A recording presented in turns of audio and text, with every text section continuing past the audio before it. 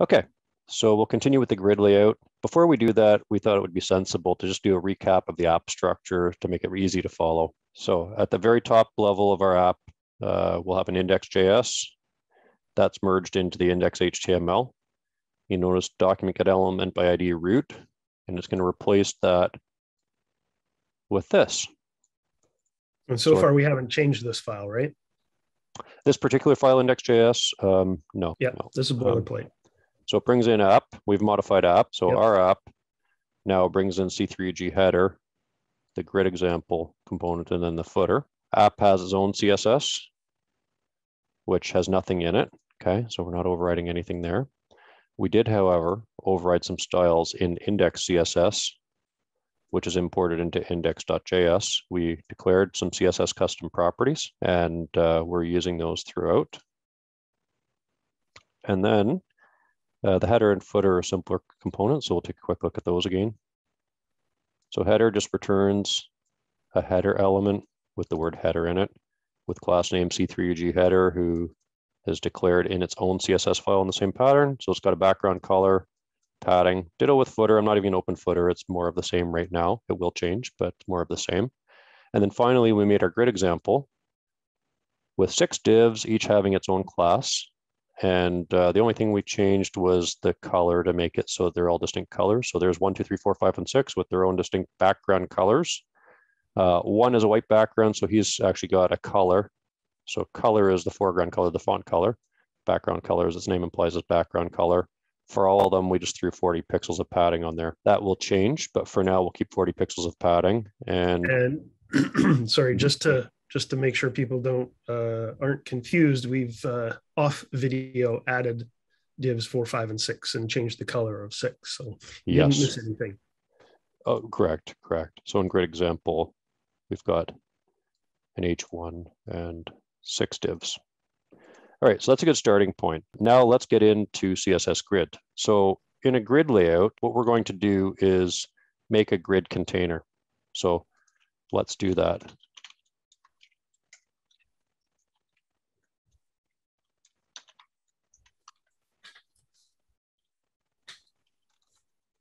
Call grid example container.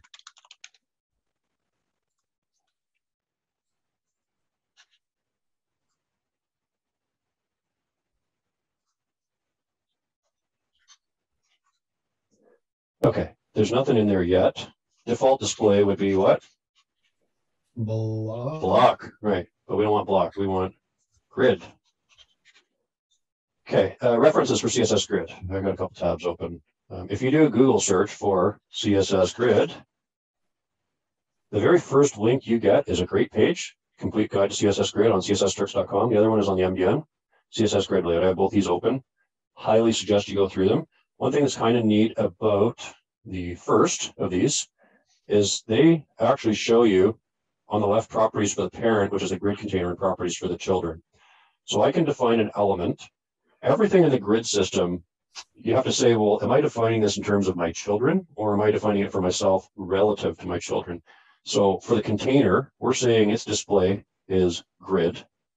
What we're telling it is that we want to lay out its content. And grid template columns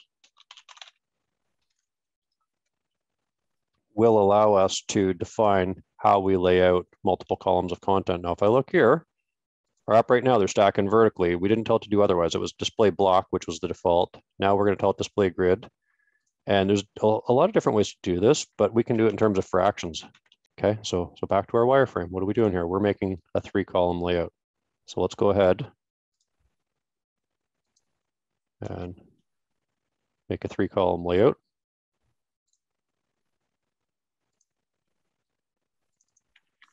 Grid example container. I'm just going to save it. Ooh. Wow. How hard was that? That is slick. Okay. And I, I can go on into perpetuity and it'll still lay them out in three columns, right? Um, three column layout, check. One line of code. well, a couple lines of code. And I, I, screwed something up here. What the heck did I do? Have I got a? You just did a paste. You pasted. You pasted I sure did. Oh, that, that was quite intentional. Here, backspace a couple times. Uh, I want to take grid example and duplicate that.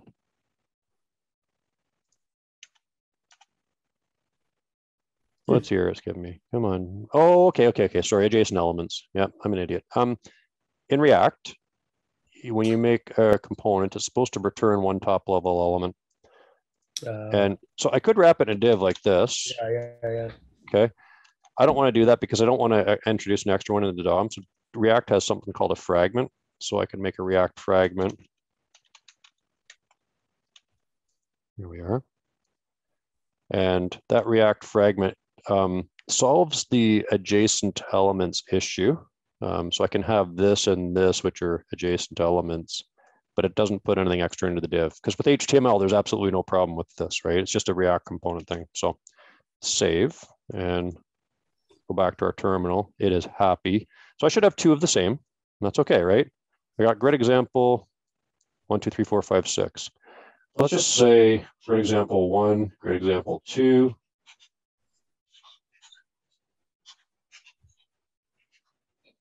Okay, so we got grid example one, three columns. Okay, grid example two. Next on deck, we want the first column to be wider than the second. Now let's just say for fun that this is twice as wide as this. You know, back in the CSS grid, sort of, sort of the grid framework days, it was often done with a 12 column grid All columns, yep. because the math happens to work. So you'd, you'd have some awareness of how wide is a column and what's the better width between them. Well, the challenge is there's a million devices and it gets wacky with sizing, right? So that what they end up doing then in say the last decade is they make well I want it when it's the smallest, meaning like mobile. Now, what should it be when it's a little bigger than that, but not quite as big? Okay, and what about when it's a little bigger than that? So you'd end up putting like several classes on the same div, for example, in your layout to tell it to, to lay itself out differently for different sizes, right?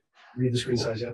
Yeah, once again, um, there's there's easier ways to do this. So what we're going to do, let's go in here and uh, start by, so let's just assume desktop. Okay, so assume at, at desktop, you want it to look like this. Um, as you can see from our wireframes, our intent is when it's mobile for things to stack vertically. But just for fun, let me show you how to do it for desktop, and then we'll talk about resizing. All right, we're going to do grid example two. We'll give it a different class, grid example two. Uh, oh, sorry, grid example. We'll make a grid example container too, okay? So that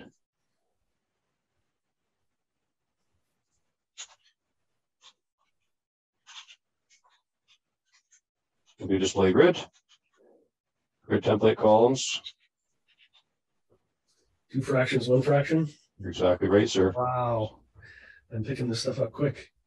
Okay, uh, I think I referenced something wrong, so. Yeah, grid- oh, No, I missed a dot, that's all. Here we are, okay. There you are. Cool. Okay, next up that. Can you guess how to do this one? Your, your brain's melted, I know, it's okay. Yeah, yeah. You're gonna have to help me out here. Okay. Grid can help you here too. Um, grid's pretty cool. What we're going to do now is do something a little bit different. But by the way, for mobile, we, we'll do a CSS media query. And so for desktop, we would do it this way. And when the width is narrower, we would do it a different way. Okay, so keep that in mind. This isn't this video is not showing you how to do a full page layout. We'll, we'll actually do that as we move on. This is just to introduce CSS grid a little bit. So we're still desktop only. Uh, we'll do media queries as we move forward to, to handle mobile. So what we want to do now is let's let's make grid example three.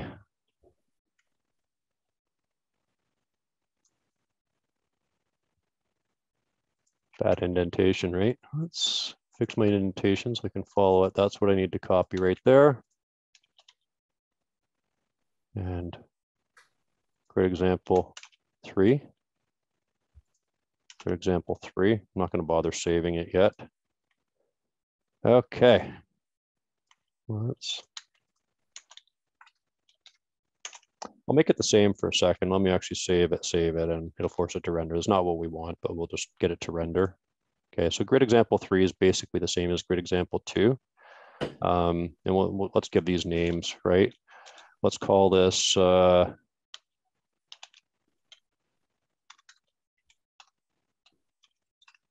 something like that. Okay, fair Mhm. enough.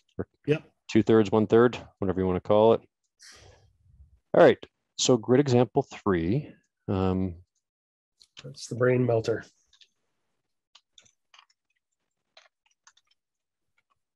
okay, so designer handed you this wireframe, you need to build it. Um, what we'll do now is I'm going to move grid example three down here in the file. We'll keep it styles together. Okay, so we need to give things a name and there's something called grid template areas. Grid template areas allows us to give named locations in our CSS grid, which is pretty awesome. And the grid template areas, um, we can have different layouts for different parts of it. So what we'll do is define them thusly. We're going to, let's, let's give these arbitrary components some names. Let's, uh, let's mentally, we'll just call them one, two, three, four, five, and six.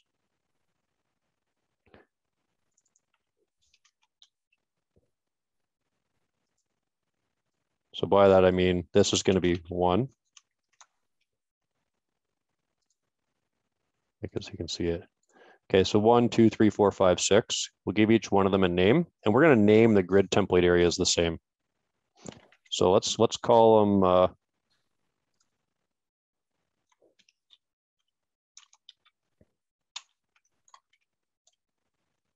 so we want three one.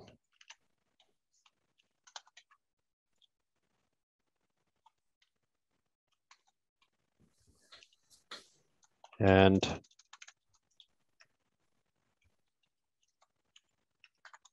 I'm gonna do a single row to start with, okay? So let's do, um, uh, we'll do the, our own styles, three, one, three, two, three, three, because it's example three. Um, here, how about EX three, one, EX three, two, EX three, three? You. Yeah. More sensible, right? You caught my mistake. You're as good as a compiler. Um, okay, so then we're gonna make grid example three. Grid example container three. And EX31, EX32,